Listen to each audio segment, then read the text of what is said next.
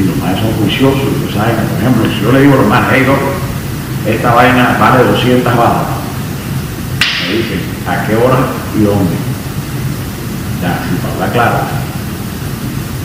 Yo le digo a ustedes la verdad, aquí hay un negocio, a ti tienes un negocio ya, no sé. Yo creo, no sé, si ustedes quieren hablar solos, no sé. No contaba el senador Eduardo Pulgar con la verticalidad del juez Andrés Rodríguez que respondió, comillas, a ver senador, yo en principio acepté la reunión esta mañana aquí por intermedio del alcalde Rona, pero yo soy un hombre muy serio. Usted me está hablando de negocios, yo para eso sí, no. Bueno amigos, recordemos que este escándalo fue dado a conocer por Daniel Coronel, quien reveló unos audios en donde se oye a Pulgar, a precisamente a Eduardo Pulgar, que, quien intenta sobornar, convencer al juez para que acepte un soborno de 200 barras a fin de favorecer a unos patrocinadores de su campaña.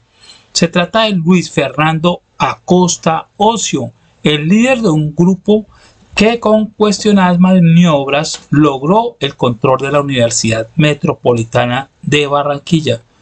Entonces ahí los pongo en contexto con este tema y pues si desean complementar más este informe, aquí está la columna de Daniel Coronel titulada Daniel Coronel Purgarcito Los Daniels. Es una columna aproximadamente, es un video de, la columna de Daniel Coronel, precisamente hace aproximadamente dos meses.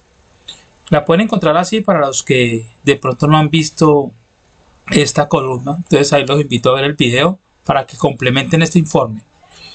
¿Qué, está pasando ahorita? Leo este titular de, precisamente hoy 19 de septiembre del año 2020 del, del portal Cuarto de Hora. Por seguridad debió salir del país juez al que el senador Pulgar habría intentado sobornar. Andrés Fernando Rodríguez, quien es precisamente este juez, se negó a recibir 200 barras del senador del partido de la U, Eduardo Pulgar. Debió salir del país por temor a hechos que afecten su seguridad. Rodríguez estaba citado este viernes, precisamente ayer 18 de septiembre a las 8 a.m. de la mañana, a declarar ante el magistrado Marco Antonio Rueda, pero le comunicó a la secretaria general de la Corte Suprema de Justicia que no se presentaría porque había tenido que salir del país precisamente por temor a hechos que pudieran afectar la seguridad no solo de él, sino también de su familia. Abro comillas, siento temor por mi integridad personal, por mi vida, por la vida de mis familiares cercanos. Yo acá en Barranquilla resido solo. No soy de acá, soy de Neiva y le pido encarecidamente a la Corte por el conducto regular que se debe hacer, que se me brinde total protección. Esto lo señaló el ex juez Andrés Fernando Rodríguez.